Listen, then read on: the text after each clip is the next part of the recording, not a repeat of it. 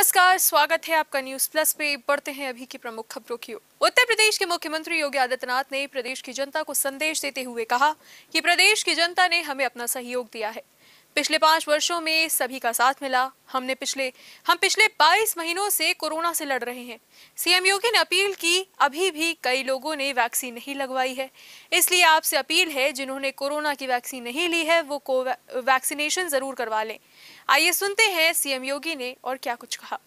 प्रदेश की जनता जनार्दन ने प्रदेश के समग्र विकास और सुरक्षा में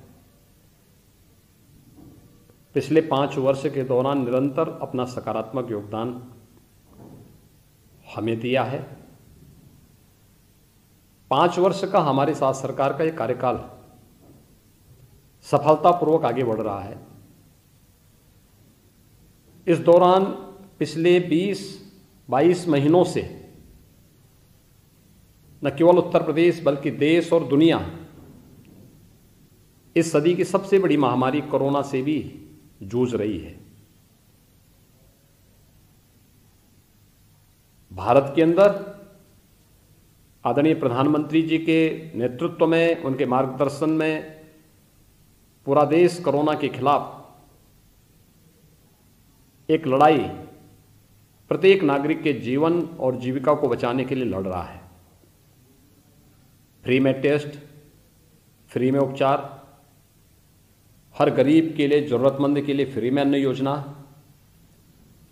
और प्रधानमंत्री जी ने सबको वैक्सीन, फ्री में वैक्सीन की व्यवस्था भी की है। मेरी आप सभी प्रदेशवासियों से अपील है कि अभी भी एक संख्या है जिन्होंने कोरोना की वैक्सीन नहीं ली है। मेरी आप सबसे अपील होगी कोरोना के खिलाफ लड़ाई ये देश की लड़ाई है। हर एक व्यक्ति का जीवन बहुमूल्य है और इस बहुमूल्य जीवन के लिए कोरोना का वैक्सीन एक सुरक्षा कवच है। इस महामारी का तीसरा वेरिएंट भी आ चुका है। घबराने की आवश्यकता नहीं, सतर्कता और सावधानी हमें इस महामारी से बचाने में बहुत सहायक होगी। मेरी आप सबसे अपील है कि आप सभी लोग जिन्होंने कोरोना की वैक्सीन नहीं ली है, वे कोरोना की वैक्सीन ज़रूर ले लें। जिन्होंने एक डोज ले ली है, वे अपनी दूसरी डोज भी समय से ले लें। बुज़ुर्ग लोगों के लिए, हेल्थ वर्कर्स के लिए, कोरोना वॉरियर्स के लिए सरकार ने एक बूस्टर डोज की व्यवस्था भी की है। आप ज़रूर इसको लें, क्योंकि कोरोना जैसी महामारी के खिलाफ मानवता के को बचाने की जो लड़ाई लड़ी जा रही है, इसमें यह वैक्सीन सुरक्षा कवच का काम करेगा।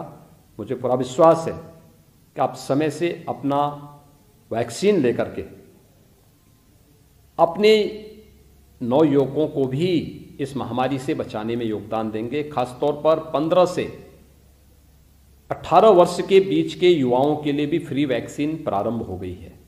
हमारा प्रयास होना चाहिए। अगले एक सप्ताह के अंदर 15 से 18 वर्ष के हरेक युवा को हम वैक्सीन दे सकें और इसको युद्ध स्तर पर ले लेंगे तो कोरोना हारेगा और भारत जीतेगा।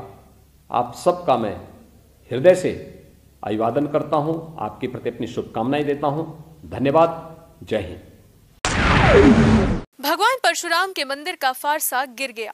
जिसका उद्घाटन सपा के राष्ट्रीय अध्यक्ष अखिलेश यादव ने किया था। जब डिप्टी सीएम केशव प्रसाद मौर्य से इस बारे में पूछा गया तो उन्होंने कहा कि ये भगवान परशुराम अखिलेश यादव और उनकी पार्टी से गुस्सा है।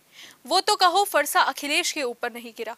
सुनिए डिप्टी सीएम को। भगवान भगवान भगवान परशुराम जी श्री अखिलेश यादव जी के ऊपर समाजवादी पार्टी के ऊपर क्रोधित हो गए फरसा गिरा है भला उनके ऊपर नहीं गिरा बच गए। भगवान भगवान भगवान परशुराम जी श्री अखिलेश यादव जी के ऊपर समाजवादी पार्टी के ऊपर क्रोधित हो गए। फरसा गिरा है भला उनके ऊपर नहीं गिरा बच गए। फ़िलहाल के लिए बस इतना ही पर बने रहिए न्यूज़ प्लस के साथ तो सब्सक्राइब कीजिए news plus twenty four seven नमस्कार।